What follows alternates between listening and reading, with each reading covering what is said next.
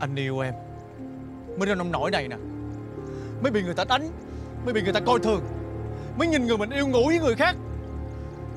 Như vậy mà còn chưa đủ nữa hả? Anh tỉnh lại đi. Tại sao lại đổ hết mọi tội lỗi lên đầu của em chứ?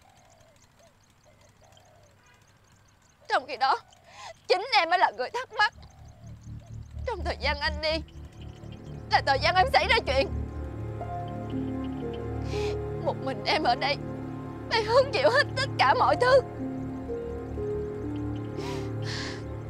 Em không gây thù chút án với ai hết. Nếu như mà phải nghi ngờ Thì em nghi ngờ anh mới đúng. Em nói gì? Em nghi ngờ anh là người dàn dựng hết hả? Anh có điên không mà tự lấy dao đâm vào trái tim của mình? Nhưng mà em không làm Em không làm chuyện đó, Tại sao anh không tin em hả? Được. Điều khiến anh thất vọng nhất về em Không phải là việc em ngủ với người khác. Em mất hay là còn, Em có thể nói thật với anh Anh bỏ qua được. Còn lần này, Em tỏ ra nết na, Đạo đức, Lừa dối anh hết lần này đến lần khác. Anh thất vọng về em lắm.